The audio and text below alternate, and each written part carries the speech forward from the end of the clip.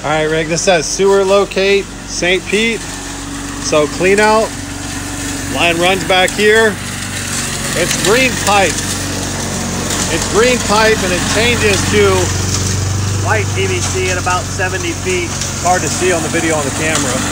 But I want to walk this off while this guy's mowing so you know where it goes. So at 45 right here, just give me one quick minute, buddy. Comes right through here. So what they did is they 45'd around this tree. So 45s again, there's the lay of the backyard. Run straight through here. See my mark here. Right about here next to this other big tree, get 45s again. And then this is our end of the run clean out before it ties into the city. Couldn't even hardly see it. I spray painted it for you.